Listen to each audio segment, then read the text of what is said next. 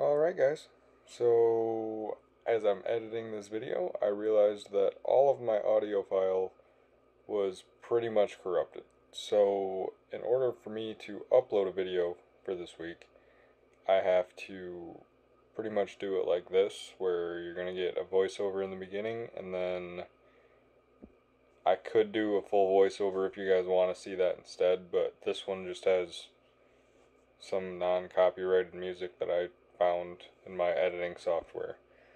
So it's just going to be the Tank Blitz. Um, I'm moving five boards left with every shot. It's a standard pinup layout. Um, I don't know the exact numbers.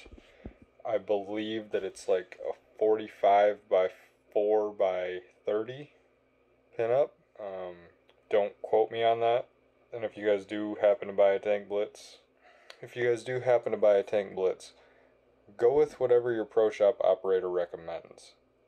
Or if you guys know what you want the ball to do specifically, like if you want it to roll more like urethane, then tell your Pro Shop operator that you want it to roll more like urethane. And he can put a layout on it that is going to make it read earlier. It's the standard gear core that's the same core as the Venom Shock with the microcell.